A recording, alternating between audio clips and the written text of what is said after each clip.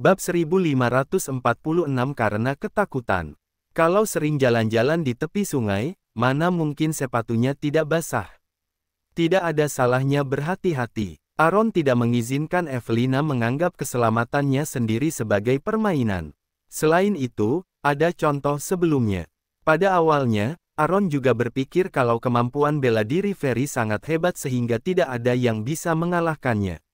Namun apa hasilnya? Thomas bisa melukai Ferry bahkan dari jarak jauh.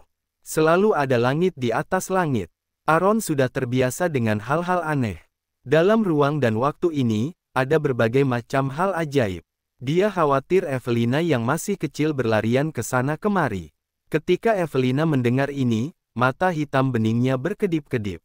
Dia mengangguk, menunjukkan kalau dia akan patuh ke depannya. Namun, apa yang sebenarnya dia pikirkan di dalam hatinya adalah dia akan tetap berlarian ke sana kemari tanpa memberitahu Aaron tentang hal itu. Anak kecil yang bisa berjalan dan terbang tidak bisa diam sama sekali, itu terlalu membatasi dirinya tinggal di istana dan diam di sebuah istana. Setelah menerima tanggapan Evelina, Aaron dengan penuh kasih mencium wajah kecil putrinya dan memuji, Evelina memang anak baik. Ayah dan putri itu mengobrol beberapa saat dan Evelina sudah berusaha keras untuk melepaskan pelukan Aaron. Ini adalah pertama kalinya dia berdiri di kediaman keluarga Xiao setelah bisa bergerak bebas. Dia mengangkat kepala kecilnya dan mengamati kediaman keluarga Xiao dengan ingin tahu. Sang putri mengira Evelina tidak mengerti apa-apa, sehingga dia sering berbicara dengan Evelina ketika Evelina sedang bermain atau tidur. Dia kadang-kadang memberi tahu Evelina kalau kediaman keluarga Xiao adalah rumah mereka dan tempat yang paling mau dia tinggali. Evelina kecil tidak memahami arti mendalam dari hal ini, tapi dia tahu apa itu rumah. Rumah adalah tempat tinggal ayahnya. Dia sangat mau tahu seperti apa tempat tinggal ayahnya. Sekarang ketika melihatnya, sekalipun kediaman keluarga Xiao tidak semegah istana kekaisaran, Evelina merasa terlihat sangat nyaman. Dia pun menyeringai dan berujar, Ayah, rumah, aku suka. Artinya dia menyukai kediaman keluarga Xiao. Dia suka rumah ini. Aaron memandangnya dengan lembut, dia tersenyum tipis dan berujar, Yah, Evelina suka, ayah juga suka. Namun, walau Evelina menyukainya, dia sudah lama meninggalkan istana, kalau sang putri mengetahui dia hilang, sang putri pasti cemas. Aaron berujar, Evelina, dengarkan ayah dan kembalilah mencari ibumu dulu, ya. Evelina merasa sedikit tidak senang ketika ayahnya menyuruhnya pergi tidak lama setelah dia tiba. Dia cemberut dan tidak menanggapi Aaron. Melihat Evelina kesal, Aaron menjelaskan, ayah juga mau bersama kamu dan ibumu, tapi tidak sekarang. Kalau urusan ayah sudah selesai, ayah akan membawa kalian ke sini, ya. Evelina mengedipkan matanya, tidak mengangguk, dan tidak mengucapkan sepatah kata pun, artinya jelas, tidak mau. Dia tidak mengerti kenapa kesibukan ayahnya bisa menjadi alasan untuk tidak membawa dia dan ibunya kembali ke kediaman keluarga Xiao. Ayahnya bisa mengerjakan tugasnya, dia dan ibunya tidak akan mengganggu. Namun ibunya juga mengatakan kalau ayahnya sangat sibuk, dia percaya perkataan ibunya. Ibunya tidak pernah berbohong padanya. Namun, ayahnya berbeda. Ayah bisa berbohong. Sekalipun kebohongannya bermaksud baik, tetap saja itu bohong, ya kan? Jadi, bagi Evelina, kredibilitas Aaron tidak 100%. Ketika Aaron melihat Evelina diam, dia tahu kalau putri kesayangannya tidak mau kembali ke istana secepat itu.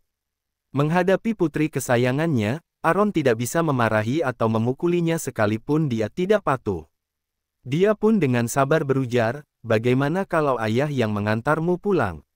Evelina tampak sedikit tergerak, dia mengangkat kepala kecilnya, menatap Aaron dengan mata berbinar, dan mengangguk.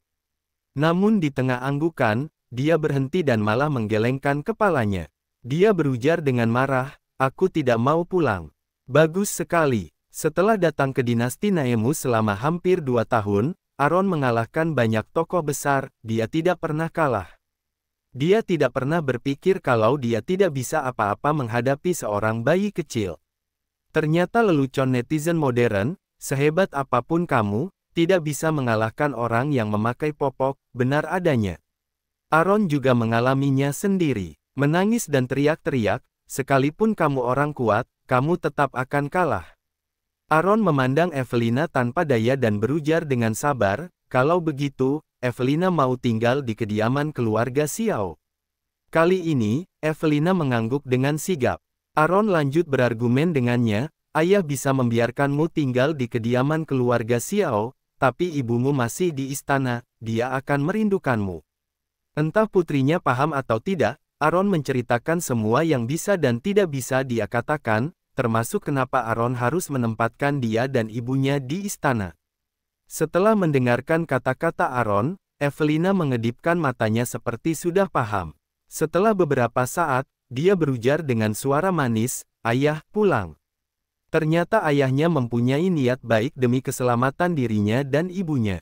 Tentu saja, Evelina tidak bisa membuat masalah yang merepotkan ayahnya. Jadi, dia memahaminya dan mau kembali ke istana dan bersama ibunya. Dia bersedia untuk kembali, itu hal yang membahagiakan. Aaron menunjukkan senyum lega seorang ayah, hampir saja dia menangis senang. Dia menatap Evelina dan tiba-tiba merasa kalau putri kesayangannya makin dilihat makin gemas. Dia merasa putrinya adalah anak paling lucu dan penuh perhatian di dunia. Aku merasa senang memiliki putri seperti ini. Aaron menggendong Evelina dengan senyuman di wajahnya dan berujar, ayo pergi, ayah akan mengantarmu kembali. Aaron tahu kalau putrinya senang main. Aaron khawatir kalau dia tidak mengantarnya kembali secara langsung, dia takut Evelina akan meninggalkan kediaman keluarga Xiao dan pergi ke tempat lain untuk bermain. Ada banyak orang jahat, bagaimana kalau dia bertemu mereka? Dia adalah kesayangan Aaron, Aaron tidak rela dia jatuh atau apa pun. Evelina, yang mengetahui pemikiran Aaron, tersenyum cerah sembari mengangguk dan berbicara, baik. Kalau Aaron tahu Evelina bisa membaca pemikirannya, dia akan kaget bukan main. Hahaha, setelah keduanya selesai berbincang dan mencapai kesepakatan, Aaron pun menggunakan teknik teleportasi untuk mengantar Evelina kembali ke istana. Kemunculan Aaron yang tiba-tiba mengejutkan Putri Tong dan Snow. Biasanya Aaron tidak datang sesering ini. Baru beberapa hari yang lalu dia datang. Ketika sang putri melihat Aaron menggendong Evelina, dan Evelina masih tersenyum dan terlihat sangat senang, dia segera mengerti. Gadis kecil ini pasti menyelinap keluar untuk mencari Aaron. Evelina, yang bisa mendengar suara batin sang putri, tersenyum lebih cerah sembari memandang sang putri. Sang putri terhenyak. Penampilan Evelina seperti tahu apa yang dipikirkan sang putri. Sang putri bertanya-tanya, mungkinkah Evelina memiliki kemampuan membaca suara hati juga? Dia menatap Evelina dengan mata berbinar, dengan tatapan bertanya-tanya di matanya. Yang sangat mengejutkan sang putri, Evelina justru mengangguk ke arah sang putri dan meletakkan jari telunjuknya ke mulutnya, memberi isyarat kepada sang putri untuk merahasiakannya. Kemudian dia melihat ke arah Aaron, bermaksud memberitahu sang putri kalau Aaron belum mengetahui hal ini, dan meminta sang putri untuk membantunya menjaga rahasia ini sebagai kejutan pada Aaron. Sang putri mengerti, dia menekan keterkejutan di hatinya, mengangguk, dan setuju dengan pemikiran Evelina. Namun, sang putri merasa, Evelina belum mencapai satu tahun, dia sudah memiliki keterampilan yang luar biasa ini. Ini bukanlah kejutan, tapi menakutkan. Bab 1547 tidak ada kabar. Untungnya, sekalipun Evelina seperti orang gede, dia sangat patuh, dia tidak pernah membiarkan sang putri khawatir sejak lahir. Dia bagaikan bayi malaikat. Namun sekarang, sang putri merasa khawatir. Evelina bisa menyelinap keluar saat dia tidak memperhatikan. Sekalipun dia pergi ke kediaman keluarga Xiao, ini adalah langkah yang berani. Bisa menyelinap sekali, akan ada dua kali. Kemampuan Evelina luar biasa, kalau dia mau, sang putri dan Snow tidak bisa menghentikannya. Untung dia pergi ke kediaman keluarga Xiao kali ini. Bagaimana kalau dia pergi ke tempat lain dan bertemu dengan orang jahat yang lebih kuat darinya? Tidak peduli seberapa kuatnya Evelina, dia masih bayi kecil yang berumur kurang dari satu tahun, kepintarannya jauh di bawah orang dewasa. Bagaimana dia bisa melawan orang jahat berniat buruk? Memikirkannya saja sudah membuat sang putri bergidik. Evelina adalah putri kesayangan dia dan Aaron. Kalau terjadi sesuatu pada putrinya ini, hatinya akan hancur. Evelina, yang sangat kuat, secara alami melihat kekhawatiran di hati sang putri. Mengetahui kalau tindakannya menyelinap kali ini membuat sang putri khawatir, Evelina merasa sedikit menyesal. Dia membuka tangan kecilnya ke arah sang putri untuk dipeluk. Sang putri memeluk Evelina dengan terampil. Di saat itulah, Evelina berbisik di telinga sang putri, Bu, aku tidak akan melakukannya lagi. Hati seorang ibu dan putrinya terhubung, sang putri khawatir, hati Evelina juga tidak nyaman. Mulai sekarang, dia akan terus menjadi anak yang berperilaku baik. Dia tidak akan menyelinap keluar lagi. Kalau dia mau keluar, dia akan meminta izin kepada sang putri dan memberitahu sang putri alasan dan ke mana dia pergi. Setelah mendengar ini, sang putri memandang Evelina dengan mata berbinar dan senyuman lembut di wajahnya untuk menunjukkan kelegaannya. Tentu saja ini adalah rahasia kecil antara ibu dan putrinya, Aaron tidak mendengar apa yang dikatakan Evelina. Aneh sekali, Aaron tidak bisa sepenuhnya mengetahui pemikiran sang putri. Aaron sendiri tidak tahu hal ini. Sekarang, ada hal aneh lainnya. Aaron tidak bisa mendeteksi pemikiran Evelina. Bahkan kata-kata yang Evelina tidak mau Aaron dengar, bahkan kalau dia mengatakannya di depan Aaron, Aaron, yang memiliki pendengaran yang sangat sensitif, tidak bisa mendengarnya. Aaron juga tidak menyadari hal ini. Bagaimanapun juga, punggung Evelina menghadap Aaron ketika dia mengatakan ini, Aaron bahkan tidak melihatnya menggerakkan bibirnya. Kalau Aaron melihatnya, Aaron mungkin akan menyadari ada yang tidak beres. Karena sudah masuk istana, Aaron pun menemani sang putri dan putrinya sebentar.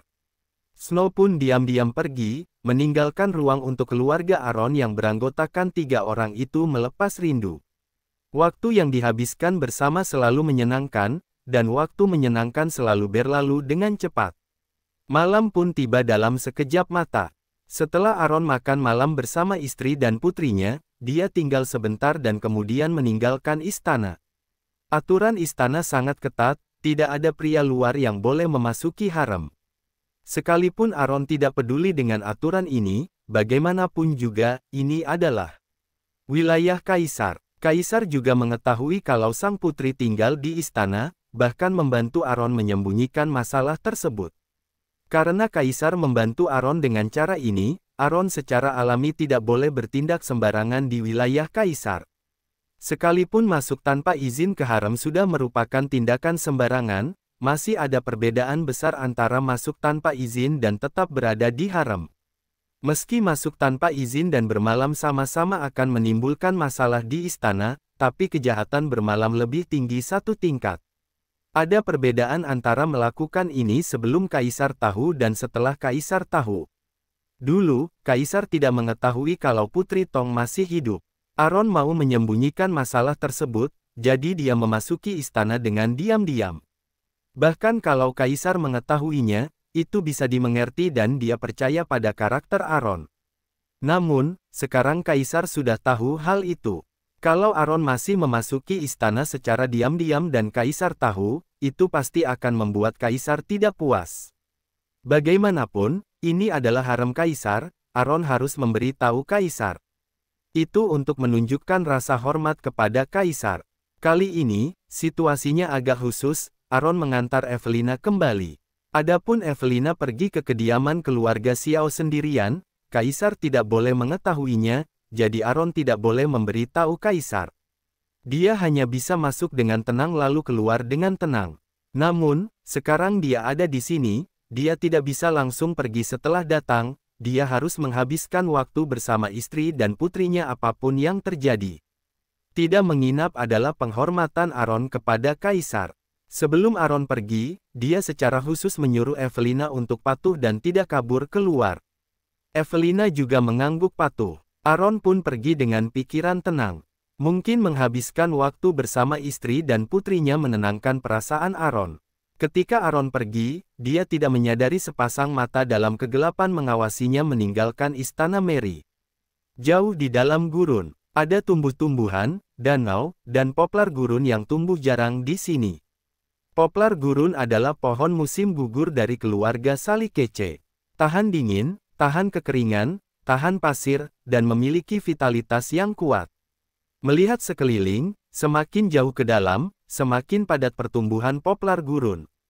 Tak sulit untuk melihat kalau tempat ini sudah berada di tepi gurun pasir.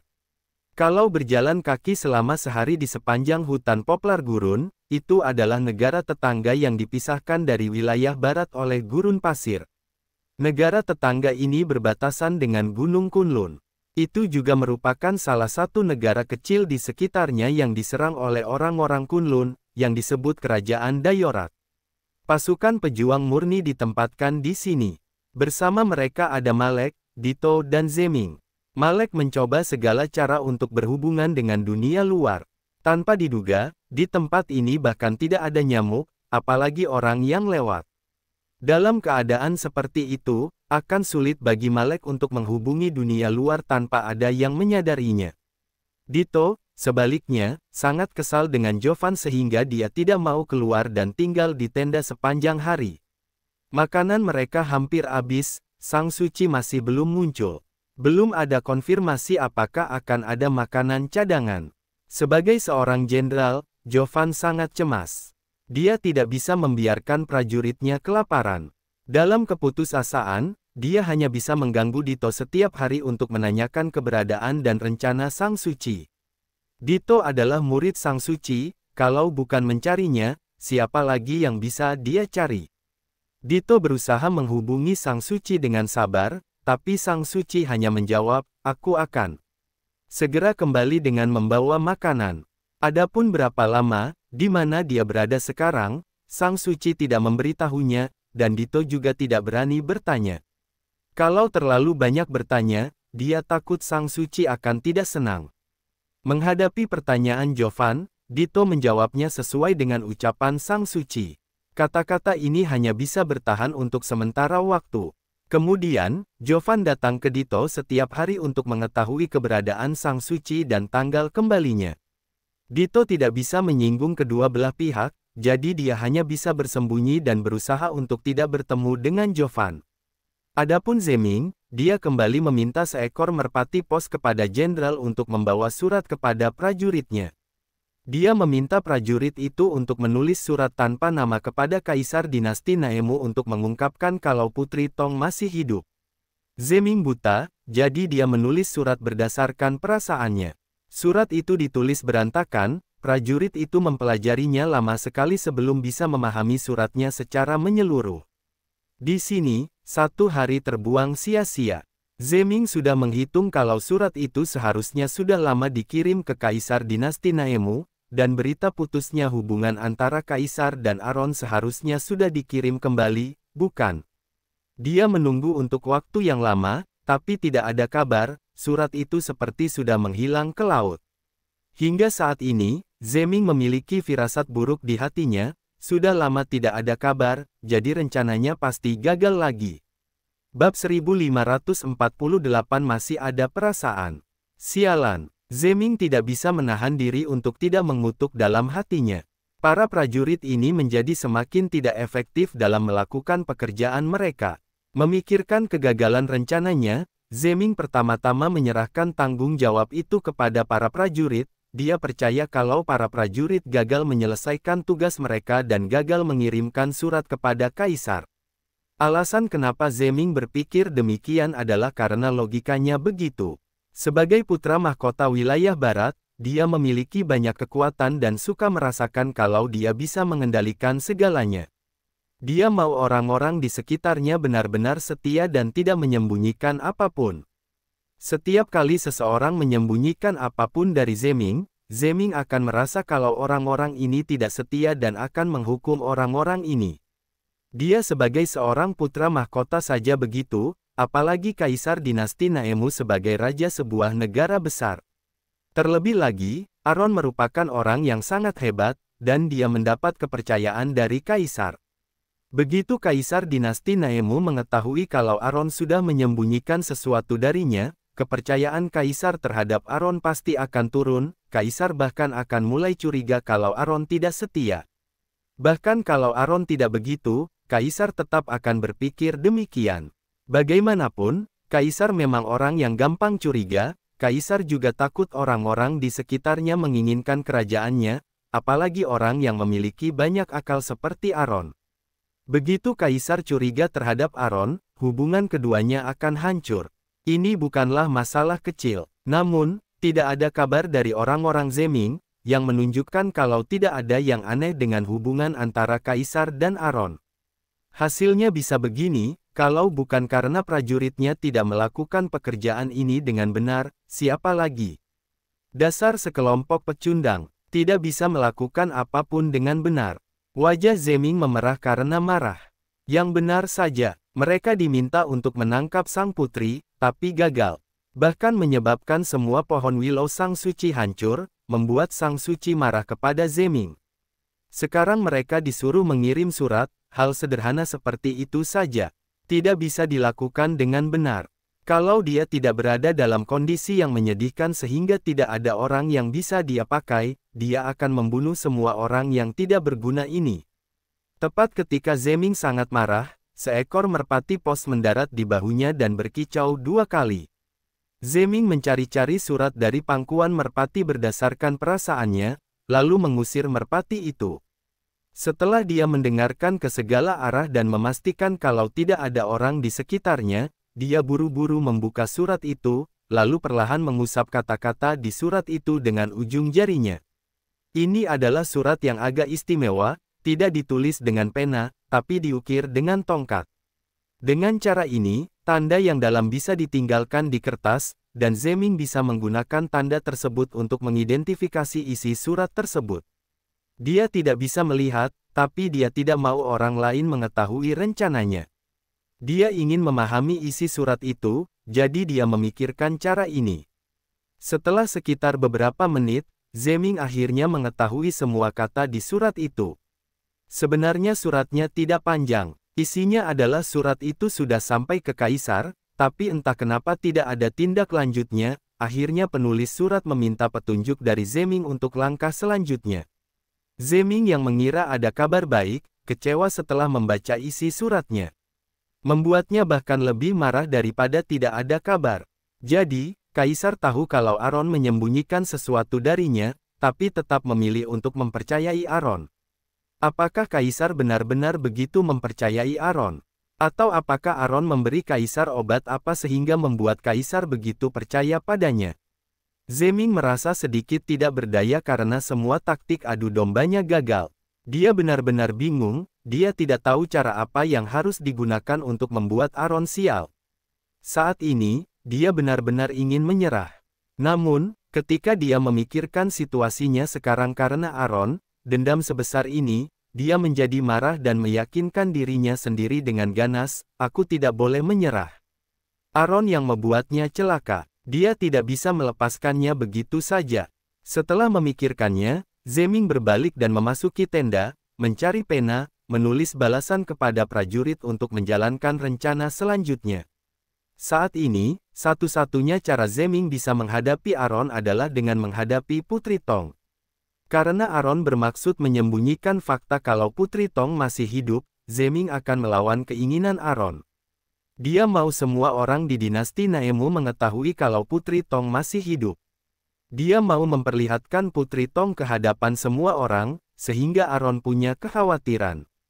Dia mau memberi tahu mereka yang ingin menghadapi Aaron bahwa ada celah yang bisa diambil. Dia tidak percaya orangnya tidak bisa menangkap Putri Tong, dengan begitu banyak orang, tidak ada satupun yang bisa menangkap Putri Tong.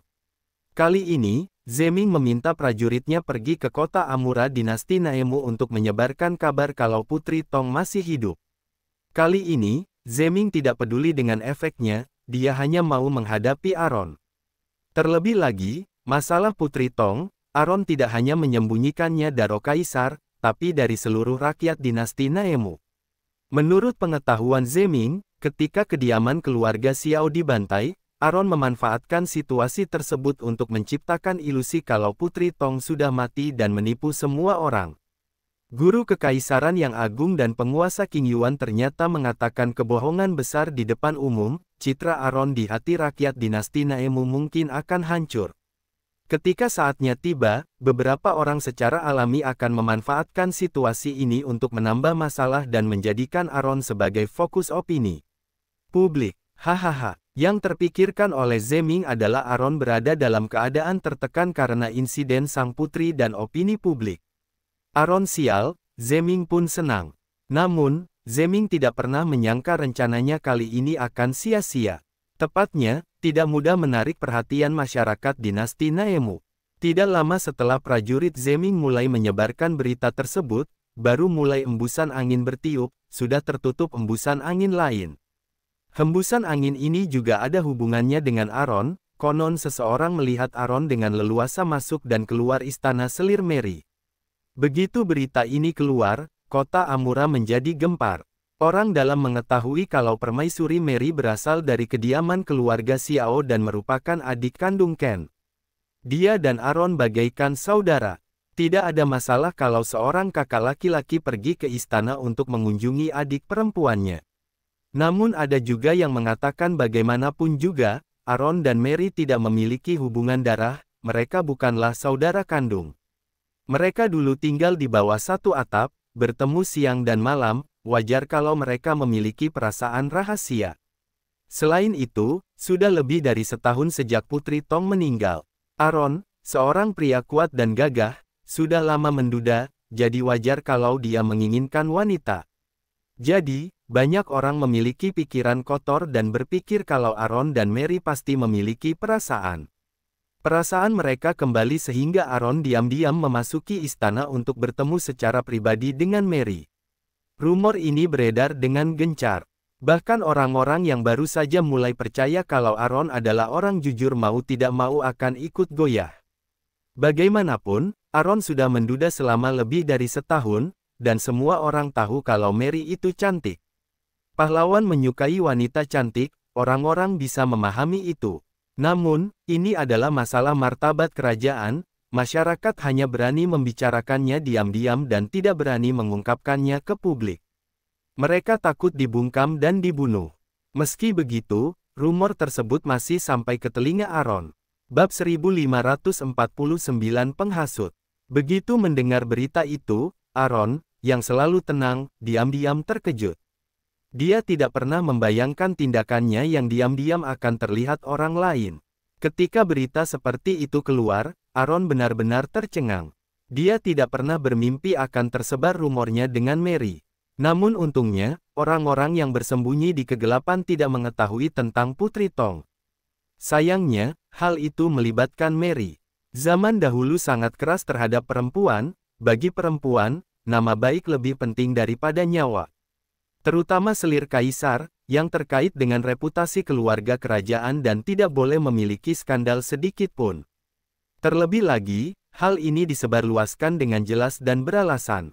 Para orang tua ini tidak hanya mempercayai kebenarannya, tapi juga mempercayainya sepenuhnya. Jadi, begitu masalah ini sampai ke telinga orang-orang tua ini dan dibawa ke Aula Changming, itu akan menjadi masalah besar bagi Mary. Harga diri kerajaan di atas semua hal. Untuk menjaga harga diri kerajaan, orang-orang berpikiran kolot ini pasti akan meminta kaisar untuk mengeksekusi Mary. Bagi orang-orang ini, mengorbankan nyawa seorang wanita bisa menjaga harga diri keluarga kerajaan, mereka pasti tidak akan merasa kasihan. Menghadapi rumor tersebut, Aaron sama sekali tidak mengkhawatirkan situasinya sendiri, dia justru mengkhawatirkan Mary. Mary membantu Aaron karena berniat baik, Aaron tidak bisa membiarkan dia dikritik atau menderita keluhan sekecil apa pun. Hal ini tentu saja sudah menyebar ke telinga seluruh pejabat di kota Amura.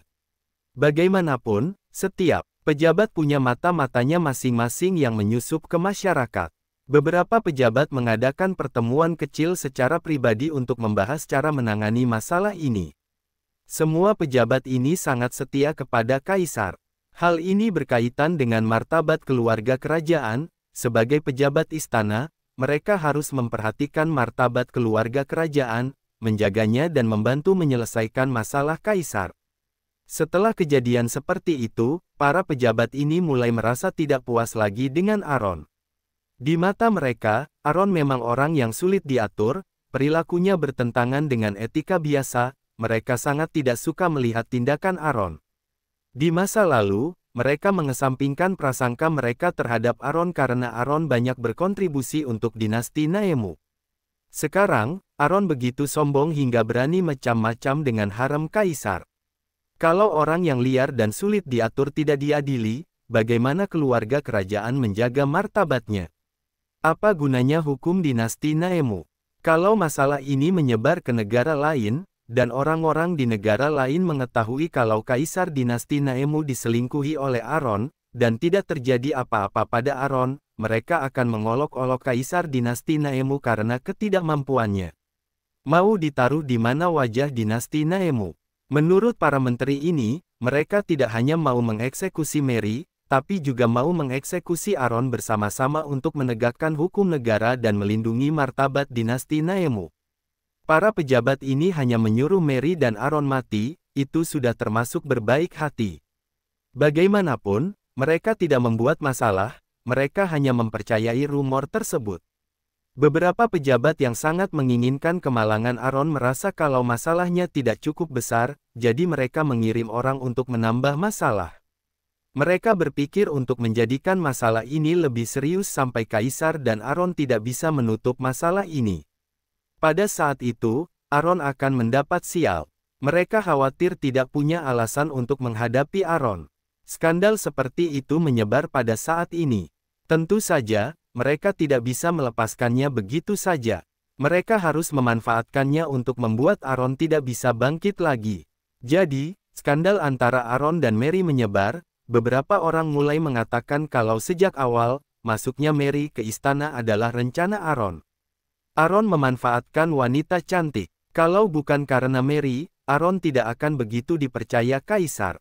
Sekarang Aaron sudah mendapatkan pijakan yang kokoh, dia mulai sombong, jadi dia mengabaikan etiket dan berhubungan dengan selir favorit kaisar untuk menerapkan konspirasi yang lebih dalam. Adapun konspirasi apa, orang-orang tersebut tidak menjelaskannya secara gamblang sehingga menyisakan ruang yang cukup bagi imajinasi masyarakat untuk berpikir dengan leluasa.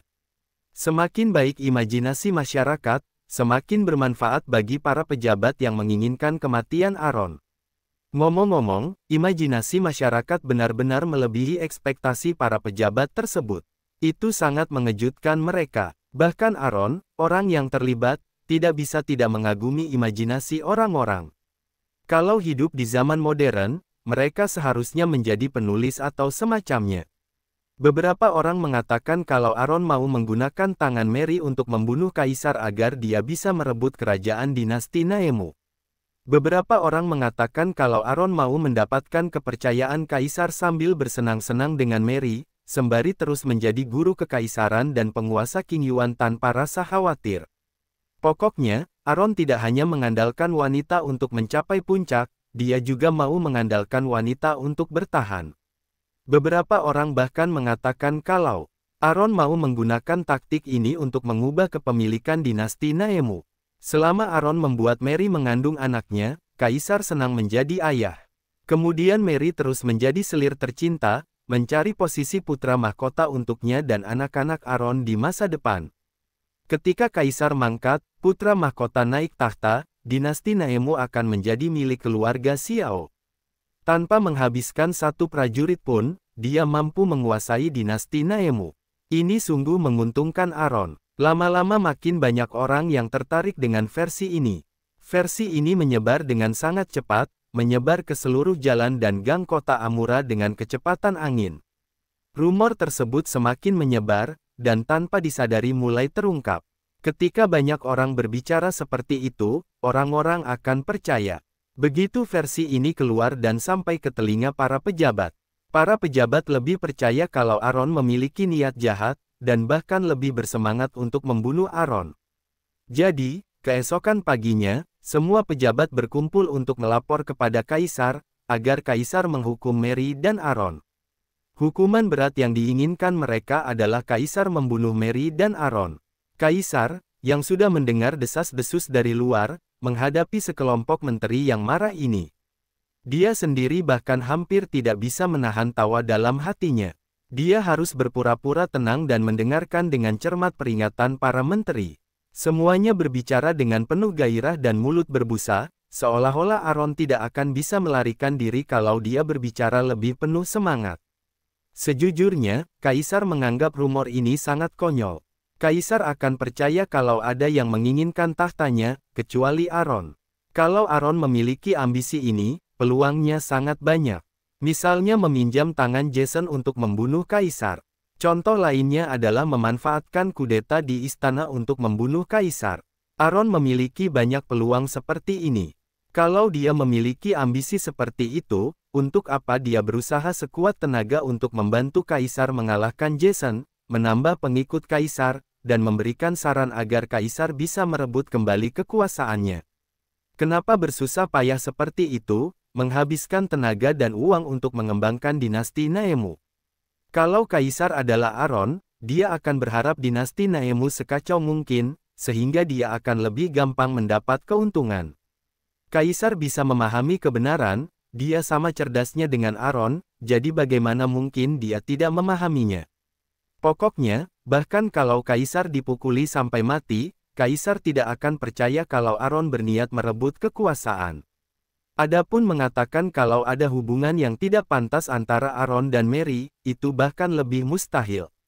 Memang benar Mary berasal dari kediaman keluarga Xiao, tapi kalau Aaron tertarik pada Mary, dari karakter Aaron, mustahil Aaron mengizinkan Mary masuk ke istana.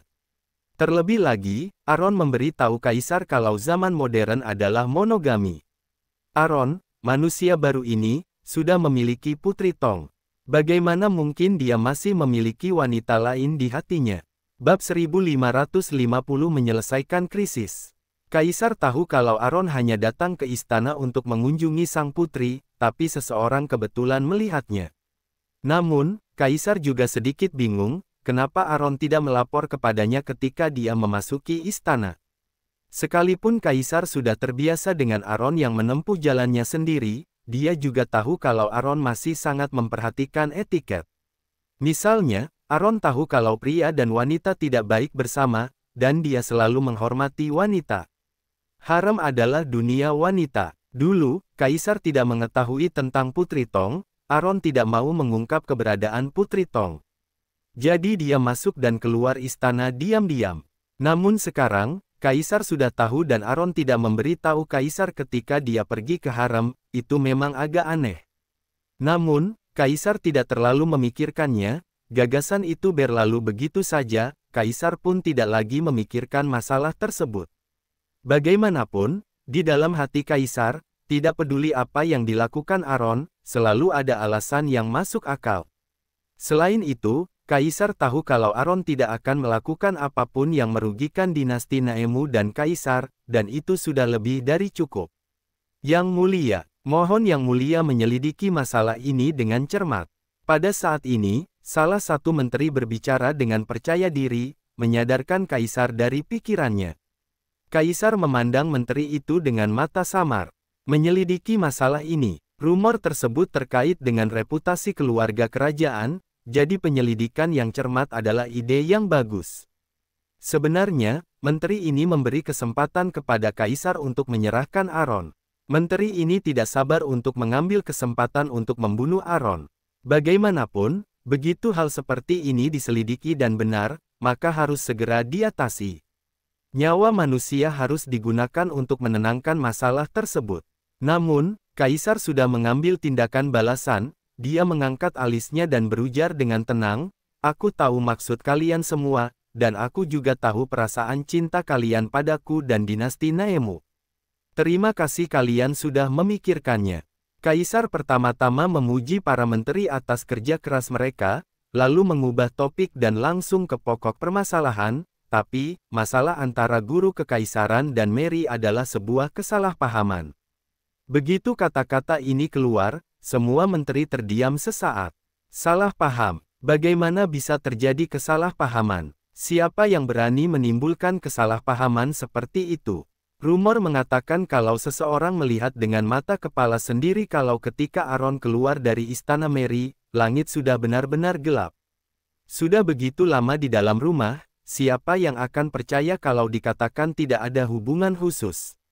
Setelah hening beberapa saat, para menteri mulai berbisik dan berdiskusi satu sama lain.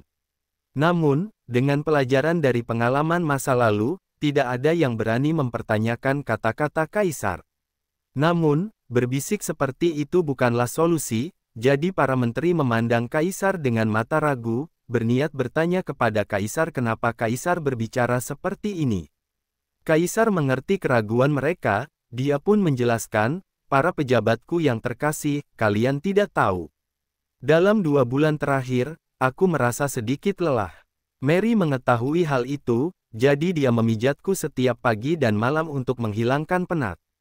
Maksudnya adalah, dalam dua bulan terakhir ini, Mary setiap hari tinggal bersama Kaisar, bahkan untuk waktu yang cukup lama.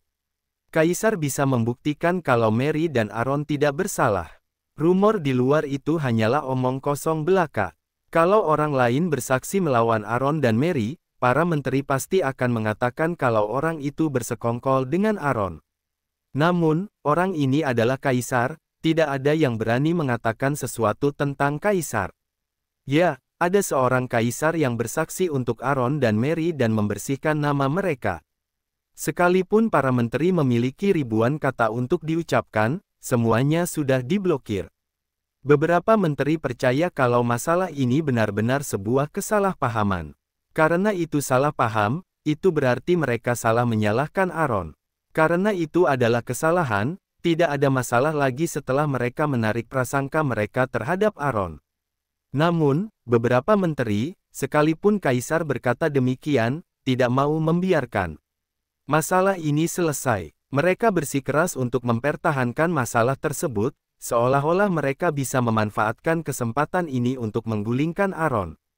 Namun, mereka juga cerdas dan tidak berkonflik langsung dengan kaisar, melainkan melontarkan pernyataan tidak langsung dengan berujar, kami percaya perkataan yang mulia, tapi seperti kata pepatah, tidak ada asap tanpa api.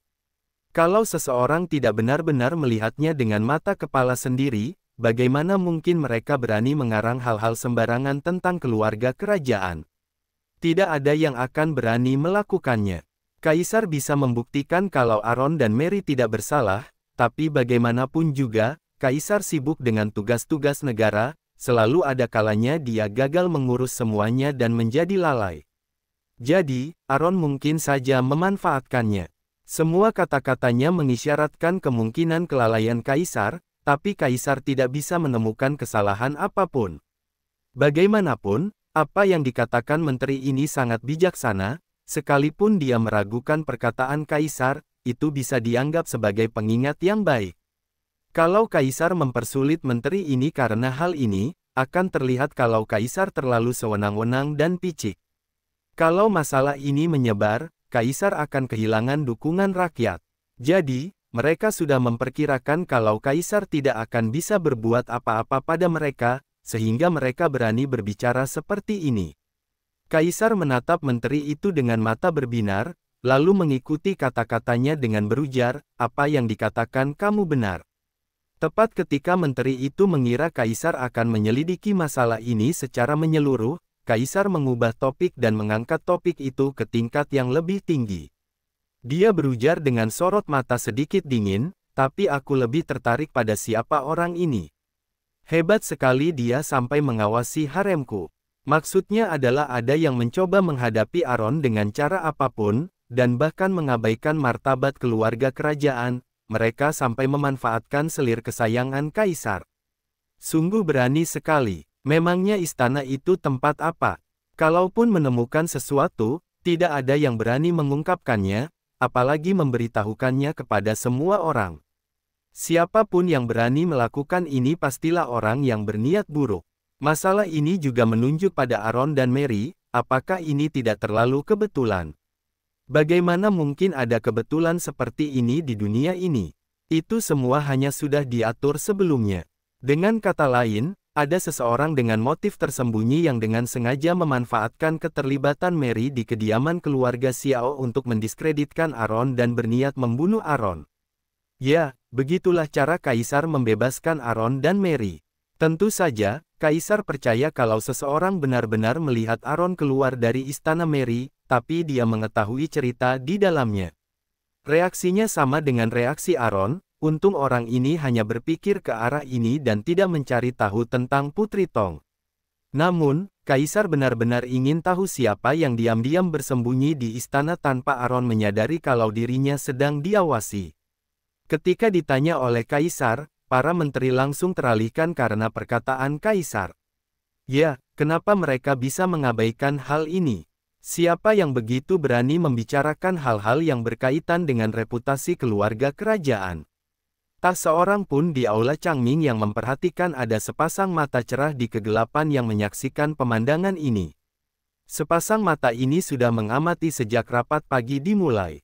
Di kediaman keluarga Xiao, Aaron, yang awalnya sedikit khawatir Kaisar tidak bisa menangani para pejabat itu, tidak bisa menahan senyum setelah mendengarkan siaran.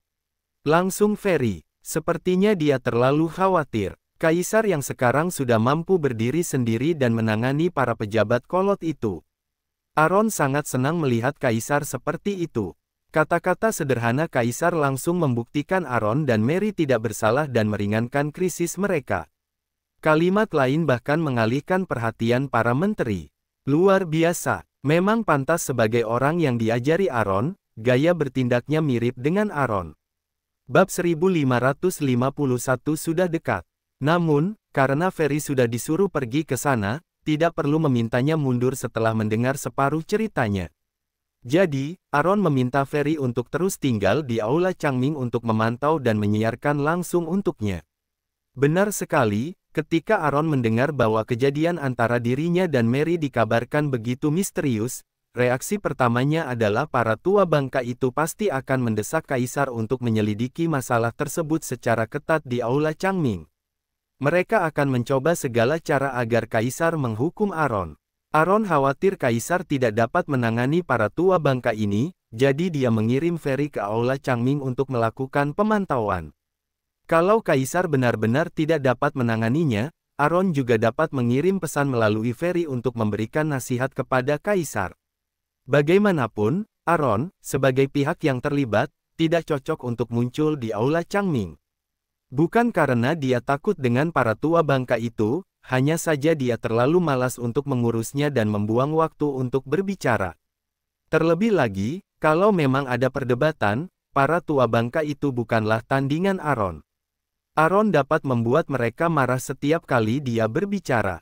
Para tua bangka itu sangat mementingkan harga diri, kalau mereka marah dan melakukan hal-hal yang ekstrim, seperti mengancam akan bunuh diri atau semacamnya, maka keadaan akan jadi sangat berdarah. Sebagai manusia generasi baru, Aaron secara alami menghargai setiap kehidupan. Aaron paling membenci orang-orang berbakat dari dinasti Naemu ini selalu mengancam akan bunuh diri di setiap kesempatan. Kematian tidak hanya tidak akan menyelesaikan masalah, juga gagal mencapai efek yang diinginkannya, tapi juga membawa penderitaan bagi keluarga, dan membuat kaisar malu dan kesulitan. Kaisar adalah orang yang menyukai bakat, jadi tentu saja dia tidak tega melihat para menterinya menggunakan metode ekstrim seperti itu. Hal ini tidak hanya merusak hubungan antara kaisar dan para menterinya, tapi juga menyebabkan kaisar kehilangan orang-orang berbakat. Kaisar juga akan menderita. Jadi, lebih baik Aaron tidak muncul. Di sisi lain, skandal antara dirinya dan Mary begitu memanas sehingga Aaron tidak masuk ke istana untuk menjelaskan atau mendiskusikan tindakan pencegahan dengan Kaisar. Jadi, Aaron tidak yakin apakah Kaisar juga mencurigai Aaron karena rumor tersebut. Sejak zaman kuno, Raja sangat menghargai kerajaannya sendiri, dan mereka paling takut orang lain menginginkan kerajaannya. Terlebih lagi, kaisar pada dasarnya adalah orang yang gampang curiga. Bahkan kalau kaisar mempercayai Aaron sebelumnya, itu karena dulu tidak ada rumor seperti itu sebelumnya, dan Aaron selalu tidak menunjukkan keterikatan pada kekuasaan. Sekarang berbeda, ada rumor bahwa Aaron mendambakan tahta, dan tersebar ke seluruh jalanan dan gang. Desas-desus menyebar begitu dahsyat hingga akan berbahaya. Tidak ada jaminan bahwa kaisar tidak akan meragukan Aaron. Alasan mengapa Aaron tidak pergi ke istana untuk menjelaskan juga karena dia ingin mengetahui sampai sejauh mana kepercayaan kaisar padanya. Sekarang, mendengarkan apa yang dikatakan Ferry, dia mengetahui bahwa kaisar sendirian. Membersihkan nama Aaron dan Mary di istana, yang menunjukkan bahwa kepercayaan kaisar pada Aaron lebih dalam dari yang dibayangkan Aaron. Bisa dibilang cinta lebih kuat dari emas. Sejujurnya, Aaron sedikit tersentuh dengan kepercayaan kaisar. Ini adalah raja suatu negara. Sudah susah mendapat kepercayaan seperti itu dari orang biasa, apalagi raja suatu negara yang memperlakukan kamu dengan tulus. Tidak sia-sia Aaron bekerja keras untuk memberikan saran kepadanya dan mengembangkan dinasti Naemu. Dengan raja seperti itu di dinasti Naemu, akan sulit untuk tidak berkembang. Saat ini, Aaron, seperti kaisar, juga bertanya-tanya, siapa yang bisa memata-matai Aaron di bawah hidung Aaron tanpa ketahuan. Sejak memiliki segel hukuman dewa, indera Aaron menjadi sangat sensitif, Aaron dapat mendeteksi gangguan sekecil apa pun. Kali ini dia diawasi dan dia tidak menyadarinya. Dia benar-benar ceroboh. Memikirkan hal ini, Aaron merasa beruntung lagi. Untungnya, mata-mata ini tidak menemukan Putri Tong dan Evelina. Namun, setelah kejadian ini, Aaron merasa tidak aman lagi bagi Tuan Putri dan putrinya untuk tinggal di istana. Namun, selain istana, Aaron tidak bisa memikirkan tempat yang lebih baik untuk menampung keduanya. Sang putri adalah keturunan bangsawan, dan Aaron berhutang banyak padanya. Aaron tidak bisa membiarkan dia menderita lagi. Aaron tentu saja ingin memberikan yang terbaik padanya, termasuk tempat tinggal untuk keduanya. Pikiran Kaisar sama dengan Aaron.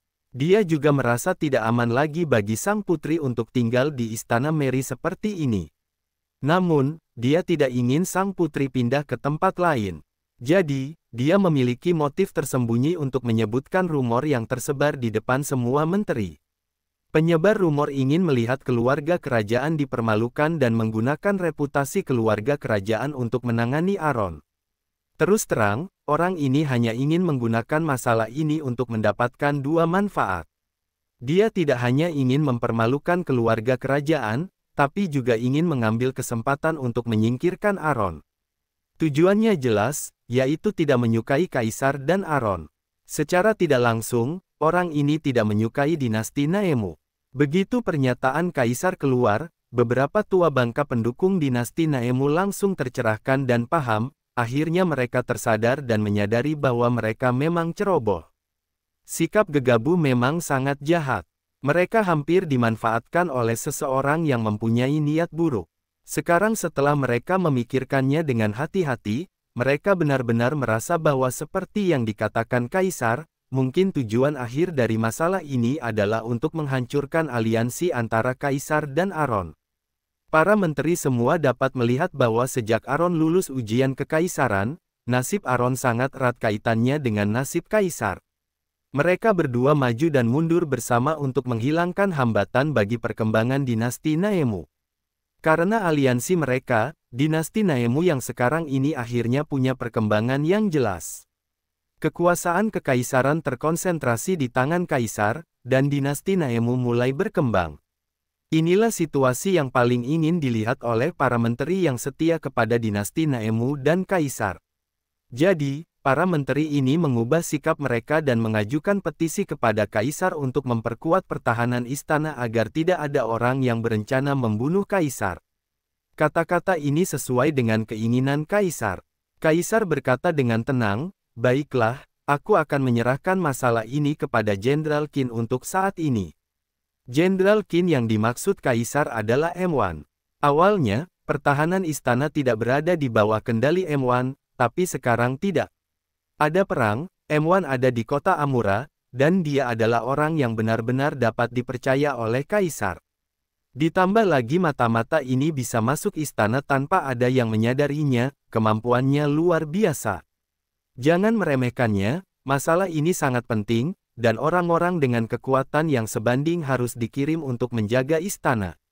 Selain itu, M1 adalah orangnya, dan Kaisar tahu bahwa meskipun M1 mengetahui bahwa Putri Tong masih hidup, dia tidak akan menceritakannya keluar. Jadi, pekerjaan ini sudah pasti harus dilakukan M1.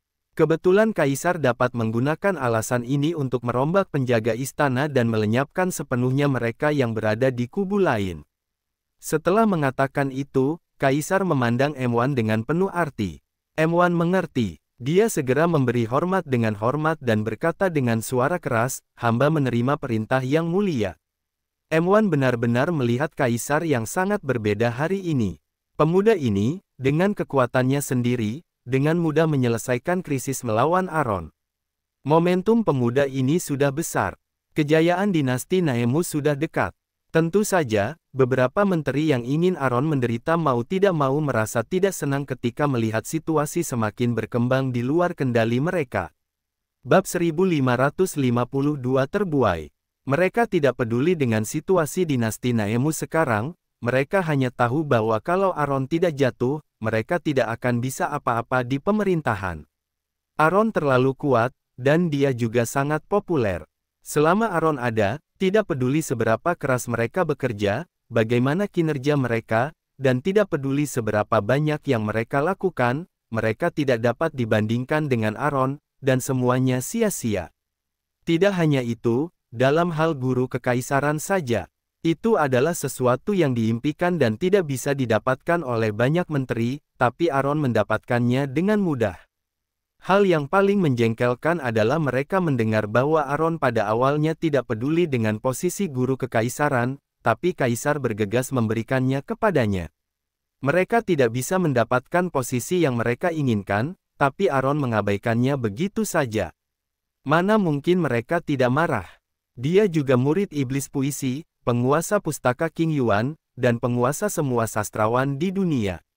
Untungnya, Aaron tidak sombong di depan mereka, kalau tidak, statusnya sebagai murid iblis puisi sudah bisa menekan mereka.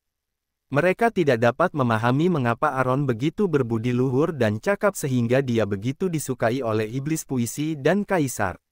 Dia bisa langsung menjadi terkenal seperti itu. Sekarang kaisar juga memiliki kepercayaan seperti itu, bahkan rumor ini bahkan tidak dapat menggoyahkan kepercayaan kaisar pada Aaron. Mereka bingung, Kata-kata buayan apa yang diberikan Aaron kepada Kaisar. Biarpun itu kata-kata buayan, dalam menghadapi rumor tentang dinasti Naemu, sudah waktunya Kaisar bangun, bukan? Namun, Kaisar seperti kerasukan, percaya pada Aaron seperti biasa, dan bahkan membantu Aaron bersaksi untuk membuktikan bahwa dia dan Mary tidak bersalah. Ini tidak mempengaruhi Aaron sedikit pun, bukankah ini sangat menjengkelkan? Dengan adanya kaisar yang melindungi Aaron seperti ini, orang yang ingin Aaron mati tidak dapat berbuat apa-apa terhadap Aaron meskipun mereka memutar otak. Menyebalkan, sungguh menyebalkan. Namun, betapapun marahnya mereka, mereka tidak berani menunjukkannya. Mereka harus melindungi masa depan mereka dan tidak berani menyinggung kaisar dengan asal. Apa yang dilakukan kaisar jelas untuk melindungi Aaron. Siapa yang berani melawannya? Jimmy dan Frediko adalah contoh yang paling nyata. Betapapun enggannya mereka, para menteri, ini hanya bisa menelan semua kekesalan ini. Pada akhirnya, sidang pagi untuk mendakwa Aaron berakhir. Melihat para menteri di aula Changming yang berharap Aaron mati tapi tidak bisa berbuat apa-apa terhadap Aaron, wajah mereka masam bukan main. Keengganan di hati mereka hampir membuat gigi mereka patah. Ferry senang bukan main. Orang-orang ini masih berharap untuk melawan ayahnya. Kalau bukan karena ayahnya tidak ingin berdebat dengan mereka, mereka pasti sudah mengalami bencana berkali-kali. Mereka bahkan tidak memikirkannya, bagaimana mereka bisa menyembunyikan pikiran licik mereka dari ayahnya. Dasar sekelompok orang bodoh. Setelah pertemuan pagi berakhir, Ferry kembali ke kediaman keluarga Xiao dengan cepat. Begitu dia kembali ke kediaman keluarga Xiao, dia berteriak dengan senyuman di wajahnya, ayah. Saat ini, tidak lama setelah matahari terbit, sinar matahari menyinari langit dan bumi. Aaron sedang berbaring di kursi di bawah pohon dengan mata tertutup dan bermeditasi. Mendengar panggilan Ferry, dia membuka matanya, matanya langsung memandang Ferry dengan lembut, lalu dia tersenyum tipis dan berkata, Ferry melakukan pekerjaan dengan baik dan banyak membantu ayah. Di saat Aaron tidak bisa muncul dan ingin mengetahui situasinya, Ferry yang harus turun tangan. Ferry terkekeh dan berkata, Ferry senang bisa membantu ayah. Aaron tersenyum dan berkata, Ferry anak baik. Ferry merasa lebih bahagia menerima pujian seperti itu dari Aaron, dan tersenyum secerah bunga persik. Setelah keduanya berbicara sebentar, Ferry tahu bahwa Aaron sedang memikirkan sesuatu, jadi dia pergi dengan sadar tanpa mengganggu Aaron. Setelah Ferry pergi, Aaron memandang ke langit dengan ekspresi yang rumit.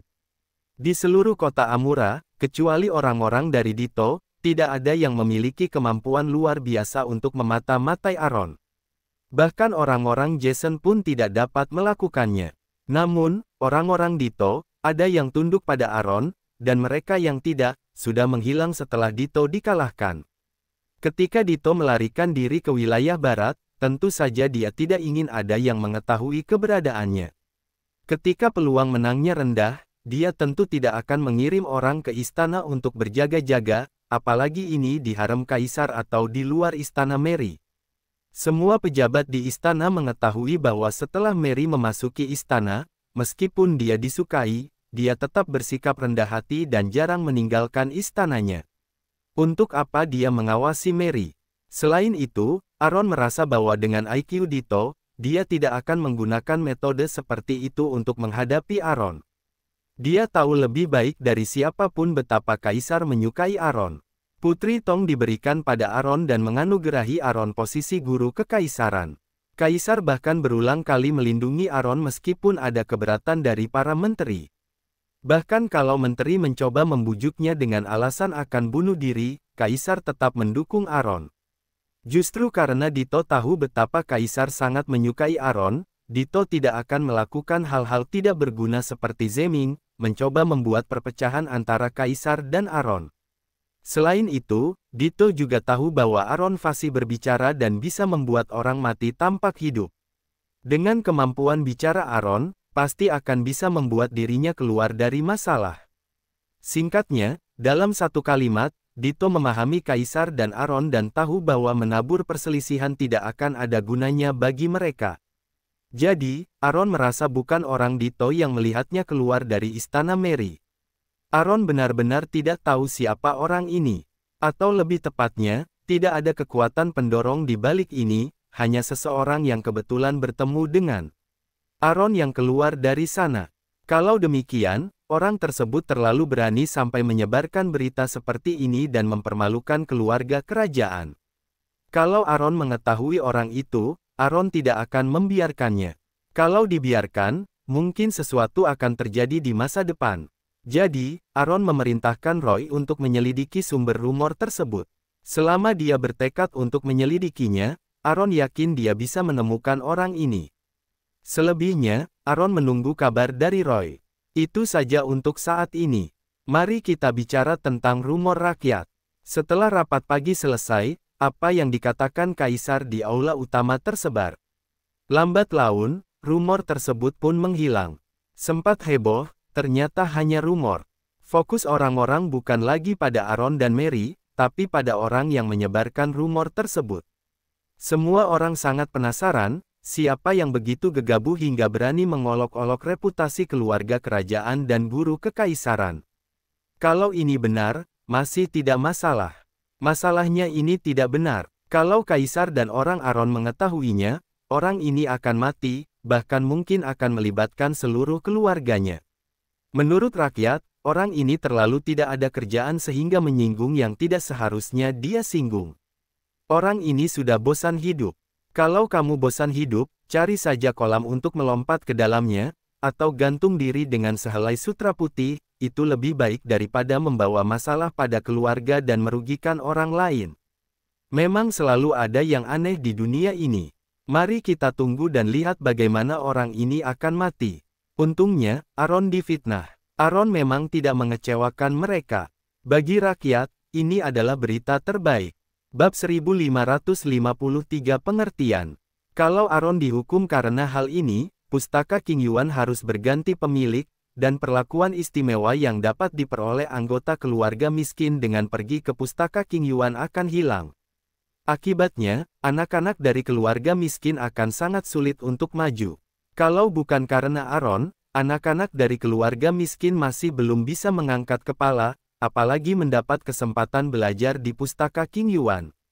Bagaimanapun, dulunya pustaka King Yuan adalah sekolah bangsawan, dan hanya anak-anak dari keluarga bangsawan yang berhak untuk bersekolah. Untungnya masalah ini tidak benar adanya. Hati masyarakat yang cemas akhirnya bisa lega. Namun, yang mengejutkan orang-orang adalah begitu berita Aron yang satu ini selesai, datang satu lagi berita. Berita ini juga sangat seru. Ternyata ada orang yang justru mengatakan bahwa Putri Tong masih hidup. Ketika Putri Tong dibunuh di kediaman keluarga Xiao, Aaron secara pribadi mengumumkan kematiannya.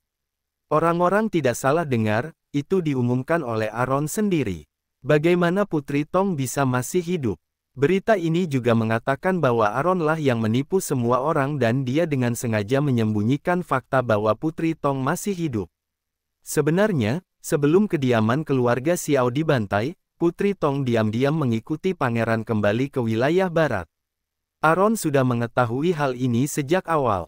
Terlebih lagi, saat Aaron pergi ke wilayah barat untuk berlatih, dia juga bertemu dengan Putri Tong. Tidak hanya bertemu dengannya, dia juga membawa Putri Tong kembali ke dinasti Naemu. Dengan kata lain, Putri Tong sekarang berada di dinasti Naemu, dan sangat mungkin dia berada di kota Amura. Setelah mendengar ini, para pendengar menjadi sangat terkejut. Berita ini terdengar serius dan dapat dipercaya. Namun, mereka tidak berani mempercayainya. Karena Putri Tong masih hidup, mengapa Aaron mengatakan bahwa Putri Tong sudah meninggal? Apalagi ini di hadapan semua orang, dia membawa peti mati kayu itu keluar. Harus diketahui, ini sangat sial dan sama dengan mengutuk Putri Tong mati. Orang-orang merasa Aaron tidak akan melakukan hal seperti itu. Bagaimanapun, mereka tahu bahwa Putri Tong dan Aaron sangat mencintai satu sama lain. Bagaimana bisa Aaron mengutuk Putri Tong? Sungguh tidak masuk akal untuk mengatakan bahwa Putri Tong masih hidup. 99% orang merasa bahwa orang di balik layar pasti memikirkan itu karena berita sebelumnya tidak berdaya menghadapi Aaron. Orang-orang tahu betul bahwa kalau masalah ini benar dan Putri Tong masih hidup, maka Aaron sudah menipu semua orang dan benar-benar pembohong. Dengan cara ini, citra dan kepribadian Aaron di hati masyarakat akan runtuh, dan status Aaron di hati masyarakat akan anjlok. Bahkan akan ada lawan politik yang akan memanfaatkan masalah ini dan menuduh Aaron menipu kaisar. Putri Tong adalah adik angkat kaisar dan anggota keluarga kerajaan. Dengan begitu, Aaron bahkan menipu kaisar. Aaron tidak akan bisa lepas dari kejahatan menipu kaisar. Kalau rakyat jelata bisa memikirkan sesuatu, para menteri juga pasti bisa memikirkannya. Jadi, ketika para menteri yang menginginkan kematian Aaron mendengar berita seperti itu, mereka langsung senang. Mereka belum mengkonfirmasi rumor tersebut, tapi sudah memilih untuk percaya bahwa itu pasti benar. Selain itu, mereka juga mengambil keputusan sendiri, kedua berita itu saling berhubungan. Para menteri ini semuanya memilih untuk percaya bahwa kejadian Aaron masuk dan keluar istana Mary pasti benar. Mungkin Putri Tong tinggal di istana Mary. Memikirkan hal ini, masuk akal kalau Aaron keluar masuk istana Mary. Selain itu, para menteri merasa bahwa kaisar juga harusnya mengetahui hal ini dan mengetahui bahwa Aaron sedang mengunjungi Putri Tong. Karena informasi ini tidak dapat dibocorkan, dia membantu Aaron membuat kesaksian palsu. Semakin para menteri memikirkannya, semakin mereka merasa hal itu mungkin terjadi. Kalau tidak, berdasarkan rumor tentang niat Aaron untuk merebut tahta, Kaisar harusnya mengubah sikapnya terhadap Aaron dan menjadi curiga terhadap Aaron, daripada terus mempercayai Aaron. Kecuali kalau Kaisar mengetahui cerita di dalamnya, sehingga ada cukup alasan baginya untuk mempercayai Aaron dan merasa nyaman. Namun, dengan pembelajaran dari masalah sebelumnya, para menteri tidak berani menyiagakan musuh dengan mudah. Mereka hanya bisa bertindak diam-diam, memverifikasi dugaan mereka terlebih dahulu, dan kemudian menuduh Aaron dengan kejam di aula utama. Kaisar mau tidak mau harus menghukum Aaron karena sudah menipu Kaisar. Setelah kejahatan menipu Kaisar diputuskan, Aaron harus mati. Biarpun para dewa datang, mereka tidak akan bisa menyelamatkan Aaron. Hahaha, Agar tidak terlalu lama, beberapa menteri sudah menggunakan pasukan rahasia untuk memasuki istana guna mencari kebenaran. Begitu rumor bahwa Putri Tong masih hidup muncul, banyak orang datang langsung ke gerbang kediaman keluarga Xiao dan berteriak, Tuan Xiao, Tuan Xiao. Mereka ingin bertanya Aaron apakah rumor itu benar. Mereka hanya ingin mendengar perkataan Aaron. Bahkan kalau Putri Tong masih hidup dan Aaron menipu mereka, mereka dapat memahami dan memaafkan tindakan Aaron. Ketika kediaman keluarga Xiao dibantai, itu sangat mengerikan sehingga orang-orang masih merasa takut ketika mereka memikirkannya sekarang. Terlebih lagi, pada saat itu, terlalu banyak orang yang menginginkan nyawa Aaron, situasinya sangat tidak menguntungkan baginya. Untuk melindungi keluarganya dan mencegah lawannya menyerang keluarganya lagi. Dapat dimengerti kalau Aaron berbohong seperti itu. Sejujurnya, kalau ini masalahnya, mereka tidak hanya tidak akan menyalahkan Aaron karena menipu mereka, tapi mereka juga akan merasa bahwa Aaron adalah orang yang bijaksana dan patut dikagumi. Namun, mereka berteriak beberapa kali di luar, tapi Aaron tidak keluar. Sebaliknya, Rigon keluar dan memberi tahu semua orang bahwa Aaron ada urusan dan sedang keluar. Karena Aaron tidak ada di rumah, orang-orang pun pergi. Sepasang mata memandang situasi di depannya dengan dingin, dengan cibiran di bibirnya. Orang ini adalah pengawal Zeming. Awalnya, pengawal ini mengira rumor tentang Aaron dan Mary dapat memberikan pukulan fatal bagi Aaron. Tak disangka, terjadi guntur kencang dan hujannya hanya ringan. Bahkan lebih tepatnya lagi, setetes hujan pun tidak ada. Aaron tidak mengalami apa-apa dan masalah ini selesai begitu saja. Pengawal tidak punya pilihan selain memanfaatkan momentum ini dan menambahkan cerita untuk mengungkap masalah Putri Tong. Melihat bagaimana orang-orang berkumpul di kediaman keluarga Xiao dalam jumlah besar begitu mereka mendengar kejadian ini, pengawal merasa bahwa dia pasti akan membawa banyak masalah pada Aaron kali ini. Bahkan bisa membunuh Aaron. Selama Aaron tidak beruntung, semakin besar kemalangannya, dia akan semakin senang. Saat itu, Zeming pasti akan menghargainya. Kalau dia bisa memenangkan hati Zeming, hidupnya akan lebih mudah di masa depan. Sayangnya, pengawal itu ingin rakyat dinasti Naemu mempersulit Aaron, tapi angan-angannya salah. Rakyat jelata yang terakhir pergi berkata kepada Rigon, tolong beritahu Tuan Xiao bahwa meskipun Putri Tong masih hidup, kami tidak menyalahkan dia karena menipu kami. Sebaliknya, kami akan menghormati Tuan Xiao untuk ini. Apa salahnya melakukan segala cara untuk melindungi keluarga kamu? Terlebih lagi, kebohongan yang diucapkan Aaron tidak merugikan rakyat. Apa pun alasannya, masyarakat tidak punya alasan untuk menyalahkan Aaron atas hal ini. Setelah mendengar ini, Rigon tertegun sejenak, dan kemudian dengan sopan berkata, Terima kasih semuanya, aku akan memberitahu Tuan Xiao. Baru setelah rakyat jelata terakhir menghilang dari pandangan, Rigon berbalik dan kembali ke kediaman keluarga Xiao untuk menyampaikan kata-kata orang itu kepada Aaron.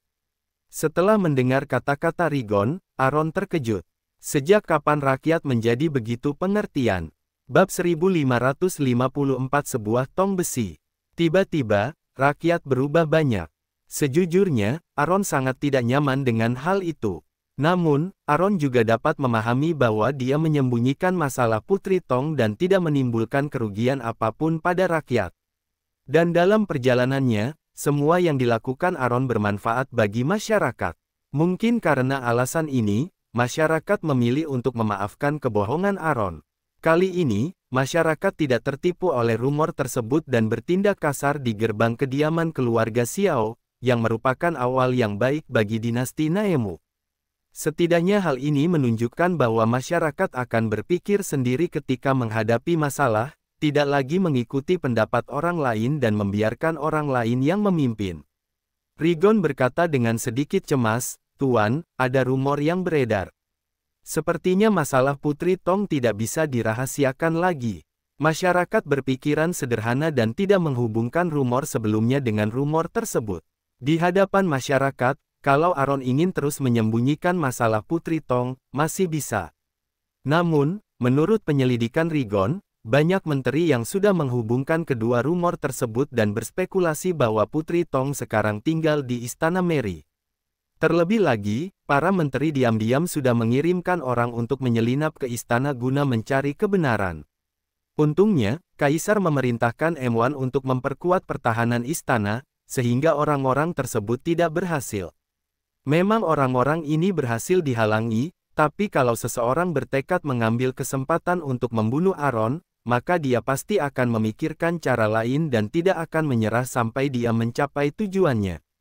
Dengan kata lain, Putri Tong tidak bisa lagi tinggal di istana. Kecuali kalau Aaron dengan berani mengakui bahwa Putri Tong masih hidup. Namun dengan cara ini, Aaron sama saja dengan mengakui dirinya sudah membohongi Kaisar. Saat para tua bangka itu mendesak Kaisar untuk menghukum Aaron, tapi Aaron tidak akan bisa lepas dari kesalahan ini. Aaron secara alami memikirkan apa yang dikatakan Rigon, tapi Aaron tidak khawatir. Aaron berkata dengan tenang, tidak apa-apa, tidak apa-apa, kamu boleh pergi. Mendengar ini, Rigon membungkuk dan mundur. Mata Aaron acuh tak acuh. Di bawah penjagaan M1, tidak ada yang bisa menyelinap ke istana. Bahkan kalau seseorang menyelinap ke istana dan melihat Putri Tong di istana Mary, Aaron tidak khawatir. Belum lama ini, Kaisar berbohong di aula utama untuk melindungi Aaron dan Mary. Para menteri secara alami dapat berpikir bahwa kalau kaisar dapat berbohong tentang Aaron, dia secara alami dapat berbohong lagi. Kalau kaisar mengatakan bahwa itu adalah idenya untuk menyembunyikan rahasia Putri Tong agar dia dapat bertahan hidup, maka para menteri ini tidak akan ada hubungannya dengan Aaron. Bagaimanapun, Putri Tong benar-benar tinggal di istana, dan juga tinggal di istana selir kesayangan kaisar. Para menteri yang ingin memanfaatkan hal ini untuk menimbulkan masalah takut menempatkan diri mereka dalam situasi sulit, dan pasti akan berpikir dua kali sebelum melakukan apa pun. Dengan kata lain, selama Putri Tong tinggal di istana, meskipun mereka melihat Putri Tong dengan mata kepala sendiri, mereka tidak akan berani membicarakannya. Mereka juga takut dibalas oleh Aaron. Bukan perkara kecil bagi seorang menteri untuk mencampuri urusan sampai ke harem kaisar. Kalau kaisar mengusut kasus ini, mereka tidak akan bisa lepas dari kejahatan niat buruk. Memeriksa harem kaisar tanpa alasan apa pun, sudah pasti mempunyai niat buruk. Ada peraturan yang jelas di semua dinasti, dan pejabat serta harem dipisahkan dengan jelas. Kaisar paling tabu kalau pejabat berkolusi dengan harem. Setelah tuduhan tersebut dijatuhkan, nyawa seluruh keluarga akan terlibat. Tidak ada gunanya mempertaruhkan nyawa seluruh keluarga untuk menjatuhkan Aaron. Selain itu, melibatkan nyawa seluruh keluarga pun belum tentu bisa membunuh Aaron. Tanpa jaminan penuh, siapa yang berani bertindak gegabah? Para menteri yang sudah lama berkecimpung dalam politik itu sangat jago dalam melindungi diri. Menjaga perbukitan tetap hijau dan tidak khawatir kehabisan kayu bakar adalah moto mereka. Mereka ingin mengambil kesempatan ini untuk membunuh Aaron, maka hanya ada satu cara. Yaitu membiarkan Putri Tong meninggalkan istana. Selama Putri Tong tidak ada di istana, maka akan sulit bagi Kaisar untuk menyembunyikan fakta bahwa Putri Tong masih hidup. Tanpa bujukan penuh, Kaisar tentu saja tidak berani menerima masalah tersebut di depan para menterinya. Hal-hal terjadi seperti yang diharapkan Aaron, para pejabat yang ingin memanfaatkan kesempatan untuk membunuh Aaron menemukan bahwa orang mereka tidak dapat memasuki istana sama sekali. Jadi mereka memikirkan cara lain, dan meminta penjaga yang memiliki koneksi untuk membantu menanyakannya. Setelah kesibukan ini, para pejabat menemukan bahwa sebagian besar penjaga asli di istana sudah digantikan oleh M1. Para pengawal istana tanpa sadar sedang mengalami perombakan besar-besaran. Baru pada saat itulah para pejabat memahami bahwa niat sebenarnya Kaisar meminta M1 memperkuat penjaga istana ternyata ada di sini. Kaisar mudah bertindak dengan sangat hati-hati dan berpikir dengan sangat hati-hati sehingga para pejabat ini pun gentar. Pada saat itulah para pejabat menyadari bahwa kaisar benar-benar sudah berbeda dari sebelumnya. Tidak hanya cara menghadapi masalahnya yang makin mirip Aaron, tapi pemikirannya juga sangat teliti. Kaisar seperti itu bukanlah sesuatu yang bisa mereka manipulasi sesuka hati. Tanpa disadari, sang kaisar tumbuh besar dan menjadi raja yang sudah bisa mengatur urusannya sendiri. Harus diakui pengaruh Aaron terhadap kaisar sungguh luar biasa. Terutama Theon dan Goliat yang sangat terkejut dengan apa yang sudah dilakukan kaisar. Sejak kejadian di mana suratnya ditukar, Goliat benar-benar tidak berani bertindak gegabah dan menuruti perintah Theon dalam segala hal.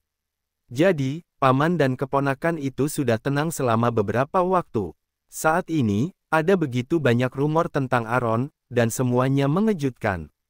Theon merasa kalau dia menggunakannya dengan baik, dia bisa membuat Aaron lengah dan menjerumuskannya ke dalam jurang, di mana Aaron tidak akan pernah bisa berdiri lagi. Jadi, Theon juga ingin menggunakan koneksinya untuk mengetahui apakah Putri Tong benar-benar tinggal di istana. Namun, setelah diselidiki lebih lanjut, diketahui bahwa penjaga istana sudah dirombak total. Tidak hanya orang yang tidak bisa masuk, berita pun tidak bisa. Istana masa kini seperti tong besi. Itu benar-benar di luar dugaan Theon. Pada saat yang sama, Theon akhirnya menyadari bahwa Kaisar tidak lagi seperti dulu, dia sudah menjadi makin sulit untuk dihadapi. Apalagi terlihat dari sikap kaisar bahwa kepercayaan kaisar terhadap Aaron tidak bisa dihancurkan kalau menyangkut masalah Aaron dan Mary. Pejabatnya dikabarkan berselingkuh dengan selir kesayangannya, dan mendambakan tahtanya, yang merupakan hal paling tabu bagi kaisar. Bahkan kalau itu hanya rumor, kaisar, sebagai raja suatu negara yang bermartabat, tidak boleh begitu acuh dan malah terus membantu untuk membebaskan dan melindungi Aaron. Theon, seperti para pejabat yang menginginkan kematian Aaron, merasa bahwa Aaron pasti sudah membuat kaisar terbuai, sehingga kaisar sangat mempercayainya. Pada titik ini, dengan kepercayaan penuh kaisar pada Aaron di masa lalu, dan pemikiran kaisar yang menakutkan, ditambah dengan restu Aaron, semakin jauh rencana balas dendam Goliat diundur, semakin sulit jadinya untuk berhasil. Jadi, Theon mau tidak mau mulai kehilangan kesabaran. Saat ini, Theon dan Goliath sedang duduk di ruang tamu kediaman keluarga Lin, mengobrol tanpa henti. Sejak Goliath memutuskan untuk mengikuti perintah Theon, dia diam-diam pindah ke kediaman keluarga Lin untuk memfasilitasi pembicaraan. Tentu saja, ini juga merupakan permintaan Theon. Theon takut Goliat tiba-tiba memikirkannya dan membuat masalah lagi untuk berhadapan langsung dengan Aaron dan Kaisar. Bab 1555 Hubungan Rusak Membiarkan dia tinggal di kediaman keluarga Lin dan mengawasinya, Theon akan merasa lebih nyaman. Goliat adalah satu-satunya anak kakaknya dan satu-satunya garis keturunan keluarga Wu. Theon harus mengawasinya dan tidak bisa membiarkan dia melakukan kesalahan. Namun, Kini Theon saja tidak bisa tenang lagi, apalagi Goliat.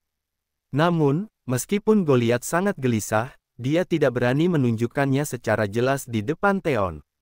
Dia takut, Theon akan memarahinya karena tidak sabar lagi.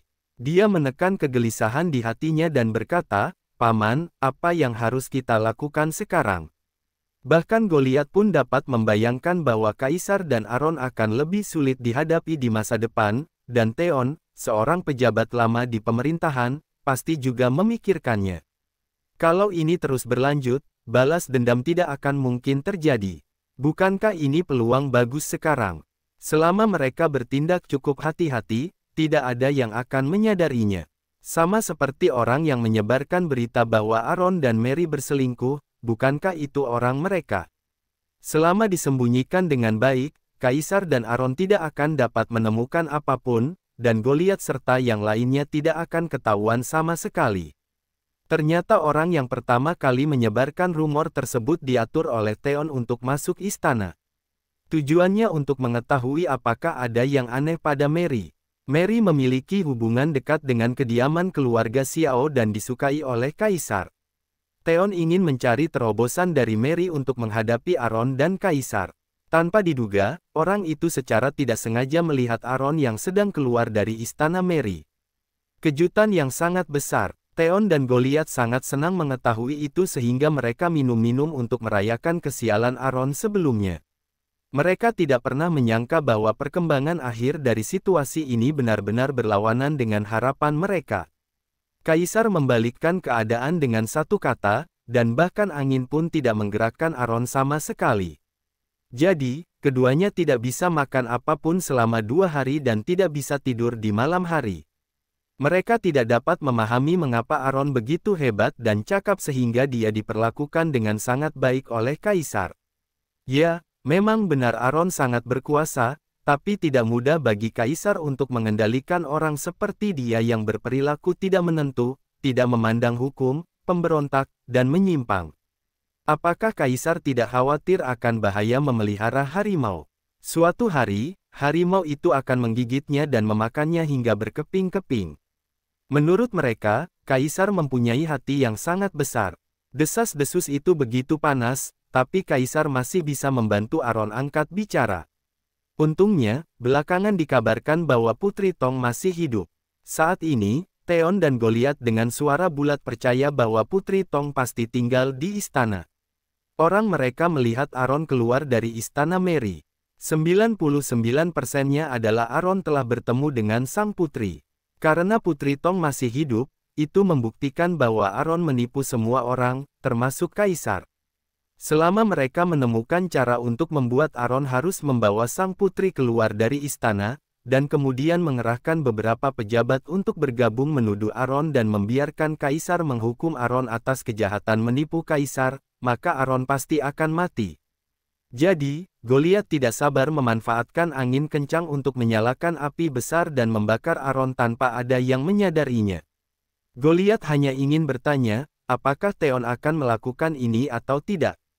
Kalau Theon takut dan menolak melakukannya, Goliat memutuskan untuk melakukannya sendiri dan tidak menunggu lebih lama lagi. Setelah kesempatan ini lewat, belum tentu ada lagi. Meskipun Goliat menyembunyikannya dengan baik, Theon masih mengetahui kegelisahan batinnya. Bahkan Theon pun cemas, bagaimana mungkin Goliat tidak cemas. Theon berpura-pura tenang, memandang Goliat dalam-dalam, dan berkata, Goliat, bagaimana menurutmu? Saat ini, Theon tidak mau menekan Goliat lagi. Dia juga takut Goliat akan kehilangan kesempatan bagus untuk membalas. Dendam. Dia ingin mendengar bagaimana pendapat Goliat. Ketika Goliat mendengar ini, dia jelas terkejut. Dia jelas menanyakan pendapat Theon, tapi Theon malah balik bertanya padanya. Bagaimana pendapatnya? Segera, Goliat sadar. Dengan kata lain, Theon juga siap mengambil tindakan. Dalam hal ini, Goliat memberanikan diri berkata, Paman, aku mau menggunakan kesempatan ini untuk menambahkan masalah pada Aaron. Selama Putri Tong meninggalkan istana, dan kemudian Theon bergabung dengan pejabat lain untuk melaporkannya, Aaron akan dicap sudah menipu Kaisar, dan dia pasti akan mati. Rencana ini bertepatan dengan rencana Theon, Goliat memiliki strategi ini di usia yang masih muda, dan Theon merasa sangat senang. Matanya bersinar terang dan dia setuju. Paman juga punya niat ini. Implikasinya adalah masalah ini sudah diputuskan. Dengan dukungan Theon, dia akhirnya bisa meluncurkan rencana balas dendamnya. Goliat sangat gembira dan berkata dengan sedikit kekejaman, Terima kasih, Paman, karena sudah mewujudkannya. Alasan mengapa kata terima kasih disebutkan pertama kali adalah karena Goliat ingin memanfaatkan orang-orang dari keluarga Lin. Orang-orang dari kediaman keluarga Wu tidak sehebat orang-orang dari kediaman keluarga Lin. Operasi ini sangat penting, berhasil atau tidaknya balas dendam Goliat bergantung pada ini. Jadi, tidak boleh dilakukan secara sembarangan. Bahkan mereka yang diutus untuk menyebarkan rumor pun harus yang pintar. Misalnya, orang yang bertemu Aaron saat keluar dari istana Mary berasal dari kediaman keluarga Lin. Theon juga tahu kemampuan kediaman keluarga Wu. Dia tahu bahwa kalau Goliath ingin membalas dendam, dia tentu harus menggunakan orang-orang dari keluarga Lin. Namun sekali lagi, di kalangan generasi muda, Goliath bisa dikatakan sebagai orang yang tahu bagaimana harus bertindak, serta paham tata krama. Dia dianggap sebagai pemimpin di kalangan generasi muda. Selain itu, karena berhubungan secara kerabat, Theon semakin menyukai Goliath. Dia berkata dengan tenang, untuk apa kamu mengucapkan terima kasih? Tidak perlu. Mengucapkan terima kasih malah terkesan jauh. Goliat tersenyum penuh pengertian dan berkata, Ya, paman benar. Meski begitu, bisa dikatakan tidak aneh kalau bersikap sopan kepada banyak orang, bahkan dalam hubungan yang paling intim sekalipun. Paman dan keponakan itu kemudian membicarakan detail rencana tersebut. Setelah detailnya diselesaikan, Theon mengatur agar orang-orang menjalankannya. Kemampuan bercerita Theon dan Goliath sungguh luar biasa. Bakat mereka sudah terungkap selama setengah hari ketika rumor lain tentang Aron dengan cepat menyebar ke seluruh kota Amura dengan kecepatan angin puting beliung. Rumor mengatakan bahwa hubungan antara Aron dan Putri Tong sudah lama putus, keduanya putus sehingga Putri Tong pulang ke wilayah barat dengan sedih. Tidak lama kemudian, keluarga Xiao dibantai, dan Aron menggunakan kesempatan ini untuk mengumumkan kematian sang putri untuk menutupi rusaknya hubungan mereka. Alasan putusnya hubungan keduanya adalah karena Aaron jatuh cinta pada Laila, yang saat itu tinggal di kediaman keluarga Xiao. Insiden antara Laila dan Aaron juga beredar luas. Seperti kata pepatah, lalat tidak menggigit telur yang mulus, dan rumor tidak mencari orang yang berhati-hati. Kalau mereka benar-benar tidak bersalah, bagaimana rumor seperti itu bisa muncul? Kemudian, entah karena Aaron berbalik, atau sesuatu yang lain, dia memanfaatkan kesempatan untuk pergi ke wilayah barat untuk pelatihan dan membujuk sang putri kembali. Rumor juga menyebutkan secara sepintas bahwa Aaron membawa para cendikiawan ke wilayah barat untuk pelatihan, hanya untuk mencari alasan yang sah baginya pergi ke wilayah barat untuk mengejar istrinya. Belum lagi, keseluruhan rumor tersebut memang masuk akal dan beralasan, sungguh menarik dan membuat orang berpikir tanpa henti. Bahkan Aaron pun tidak bisa tidak mengagumi orang di balik cerita tersebut karena kemampuannya yang luar biasa dalam mengarang cerita, semua poin ini digunakan dengan baik sekali. Namun, sorot mata Aaron disertai dengan sedikit rasa dingin, bab 1546-1555 selesai, bersambung ke bab 1556, terima kasih.